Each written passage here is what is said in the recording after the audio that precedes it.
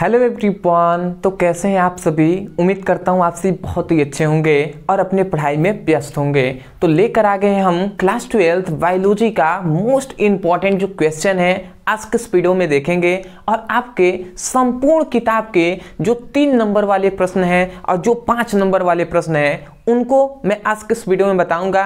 और इन सभी को आपको अभी कोई भी काम कर रहे हैं, छोड़कर और कॉपी पेन लेकर बैठ जाइए और इन सभी प्रश्नों को नोट में लिखते हुए चलिए। ठीक है? क्योंकि ये वी वी आई क्वेश्चन है। तो चलिए हम स्टार्ट करते हैं। तो सबसे पहले हम इधर पाँच नंबर वाले प्रश्न लिखे हैं, इधर तीन नंबर वाले प्रश्न लिखे हैं। बट सबसे पहले हम इधर से स्टार्ट करते हैं। पाँच नंबर वाले जो प्रश्न है, इसको हम एक एक करके जान लेते हैं।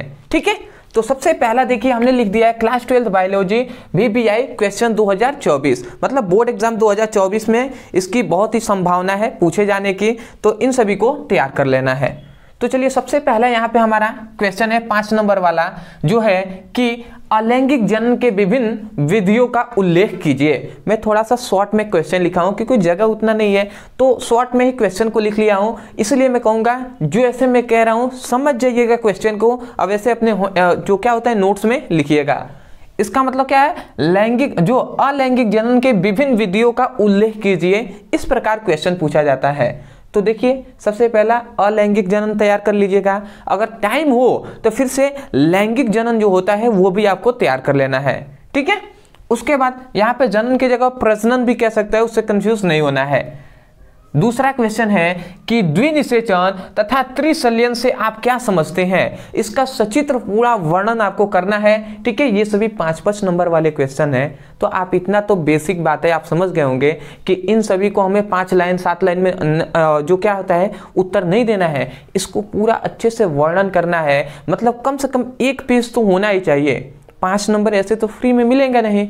ठीक है? जैसे आप सपोज़ डेट जैसे कि आप जीवन परिचय लिखते हैं, एक पेज का, उसी प्रकार इस पर जो अलैंगिक जनन के विभिन्न विधियों का उल्लेख करना है तो एक पेज लिखना होगा। उसी तरह द्विनिषेचन और त्रिशल्यन से आप क्या समझते हैं, इसको भी एक पेज कम से कम लिखना होगा।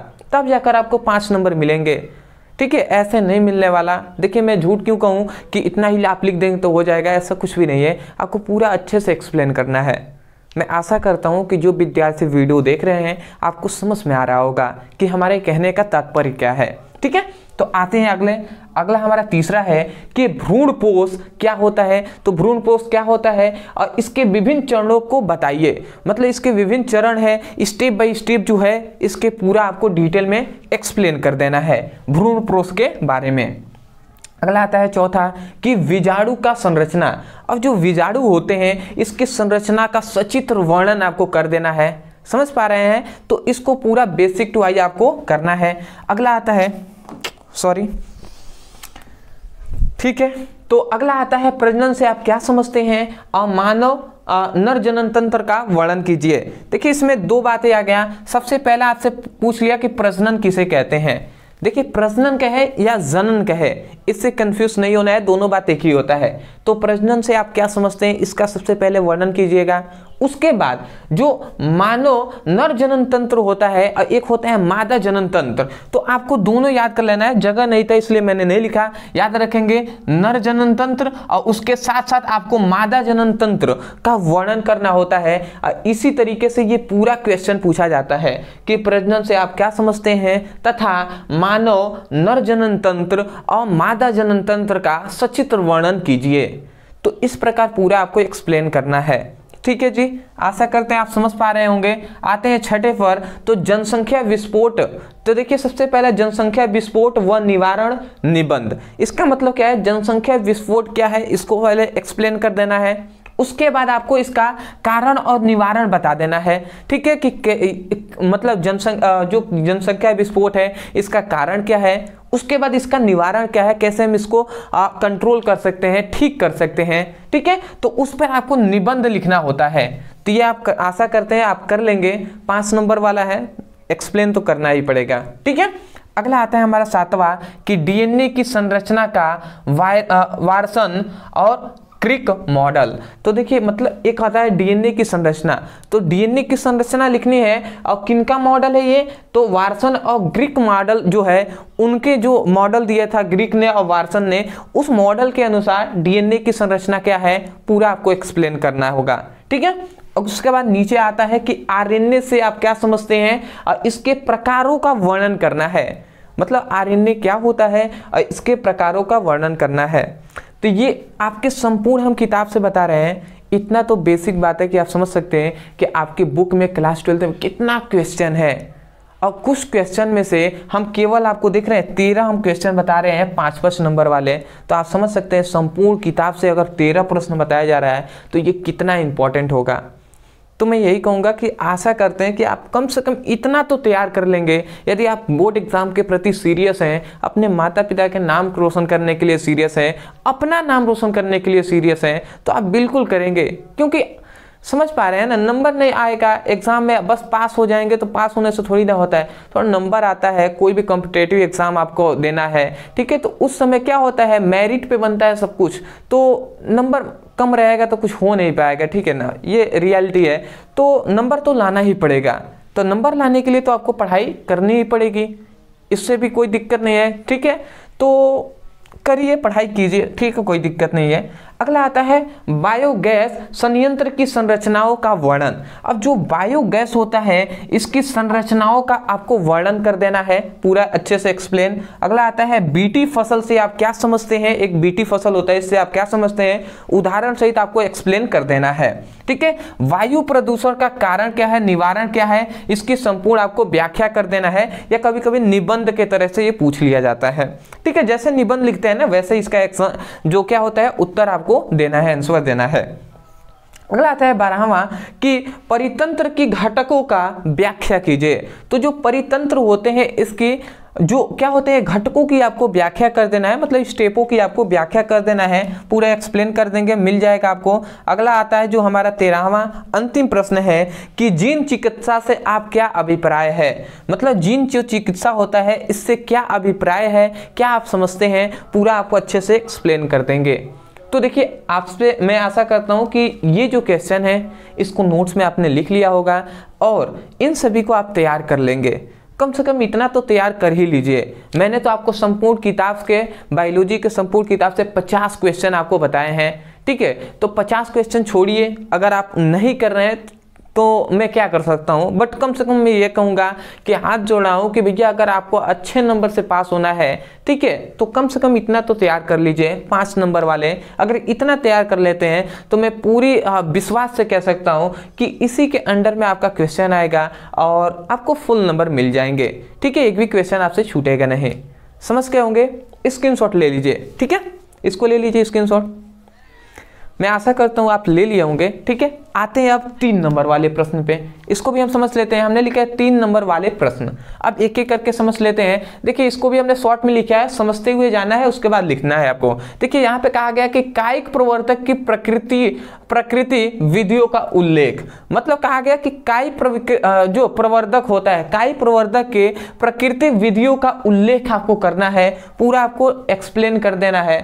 तब आपको तीन नंबर मिलेंगे। ये सभी वीवीआई क्वेश्चन है। अगला आता है कि भ्रूण कोष और जो भ्रूण कोष में अंतर तो भ्रूण कोष और भ्रूण कोष में क्या डिफरेंट होता है, क्या अंतर होता है, ये आपको बताना है। इंपॉर्टेंट है। अगला आता है कि माइ माइक्रो प्रोपोगेशन को समझाइए। तो माइक्रो प्रोपोगेशन जो होता है, इसको आपको क्या करना है एक्सप्लेन कर देना है। इंपॉर्टेंट टॉपिक है।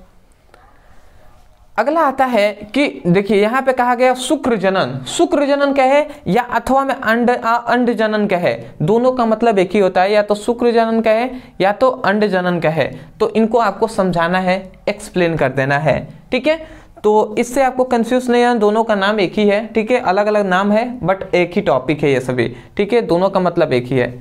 अगला आता है कि स्वपरागरण अपर पर परागरण में अंतर। तो स्वपरागरण अपर पर परागरण में क्या डिफरेंट होता है, क्या अंतर होता है, ये आप तैयार कर लीजिएगा।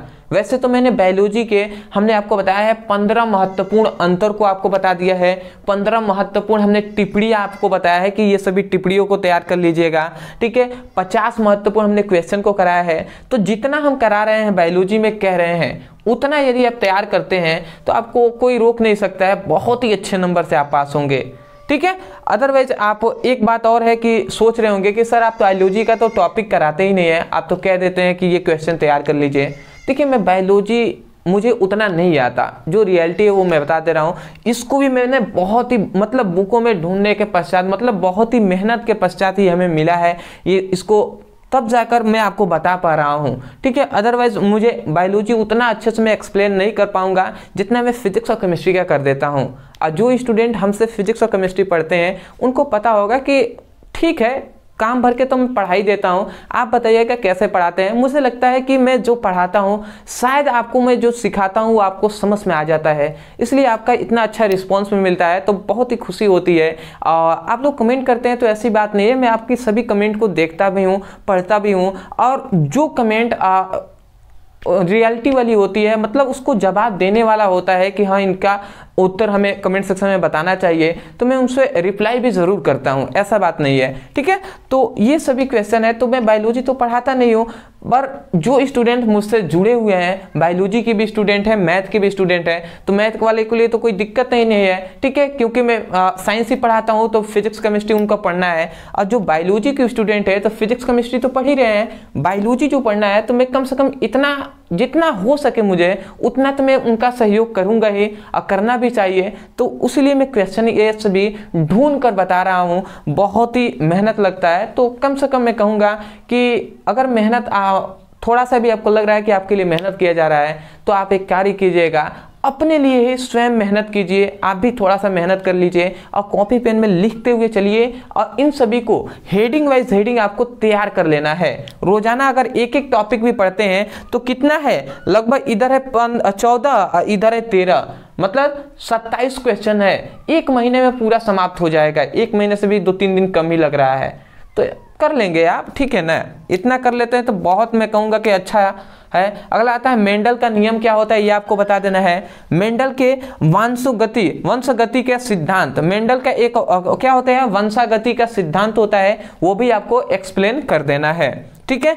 अगला आता है कि लिंग सहलंगन के गुणों का, गुणों से आप क्या समझते हैं? तो जो लिंग सहलंगन होता है, इनके गुणों का आपको एक्सप्लेन कर देना है। ठीक है? ये भी वेरी इंपॉर्टेंट टॉपिक है। अगला आता है, ये देखिए, कैंसर रोग का कारण और रोकथाम, ठीक है? तो कैंसर रोग का कारण क्या होता है? ठीक है? इसका रोकथाम मतलब कैसे इसका निवारण कर सकते हैं? इसका लक्षण क्या क्या होता है? ये आपको एक्सप्लेन कर देना है। समझ पा रहे हैं? इंपॉर्टेंट वेरी इंपॉर्टेंट टॉपिक है। अगला आता है कि पीसीआर पर टिप्पणी। देखिए, टिप्पणी लिखने के लिए आपके बोर्ड एग्ज़ाम में बहुत पूछा जाता है।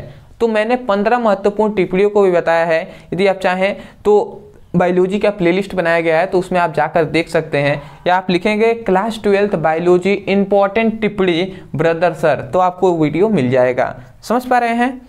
अगला आता है, संक्रमण रोग। अब संक्रमण रोग क्या होता है? इसका कारण क्या होता है? इसका रोकथाम क्या होता है? और इसका लक्षण क्या होता है? यह भी आपको इंपॉर्टेंट है, बता देना है। अगला आता है बारहवा की जीन चिकित्सा से आप क्या अभिप्राय है? यह आपको बताना है, ठीक है? अनुवांशिकी जो क्या है? इंजीनियरिंग क्या होता है? यह आपको बता देना है। और रेड डाटा बुक क्या होता है? इसके बारे में भी एक्सप्लेन कर देना है। तो ये हुए आपके तीन नंबर वाले प्रश्न और ये हुए आपके पाँच नंबर वाले प्रश्न। इसे चाहे तो आप स्क्रीनशॉट ले सकते हैं, ठीक है? तो मैं आशा करता हूँ आपने ले लिया होगा। मैं यही कहूँगा कि इन सभी क्वेश्चन को आपको बिल्कुल तैयार कर लेना है। अदरवाइज़ मैं जितना हो सकेगा, मैं बायोलॉजी में भी हेल्प करूँगा, ठीक है? अदरवाइज़ फिजिक्स केमिस्ट्री के बाद तो आप जानते ही हैं, पूरा सीरियस होकर आपको पढ़ाई भी कराया जा रहा है। और बहुत से ऐसे स्टूडेंट हैं जो सीरियस हैं तो मैं उनसे कहूँगा कि आप सीरियस होकर पढ़ाई कीजिए। आपका देख रहे हैं कि लगभग लगभग आपका एट्टी परसेंट आपका जो है आ, जो फिजिक्स है कंप्लीट करा दिया गया है। आ, मैं कहूँगा कि एट्टी परसेंट आपका केमिस्ट्री भी कंप्लीट है। उसके बाद हमने सेशन स्टार्ट किया जिसमें हम न्यूमेरिकल को करा रहे हैं फिजिक्स और केमिस्ट्री के जो संपूर्ण किताब के वी आई हैं तो उन सभी न्यूमेरिकल को तैयार कर लीजिए ठीक है? तो ऐसे ही आप पढ़ाई करते हैं डिस्क्रिप्शन बॉक्स में हमने लिंक दिया है तो वहाँ पे फिजिक्स केमिस्ट्री का, हिंदी का इंग्लिश का और टेलीग्राम का लिंक दिया गया है तो आप टेलीग्राम को ज्वाइन हो जाइएगा। और फिजिक्स और केमिस्ट्री या किसी के भी पढ़ाई करना है तो उस पर लिंक पर क्लिक करेंगे, आपको सभी वीडियो मिल जाएँगे तो वहाँ से जो भी भी आई क्वेश्चन है, उनको आप तैयार कर सकते हैं।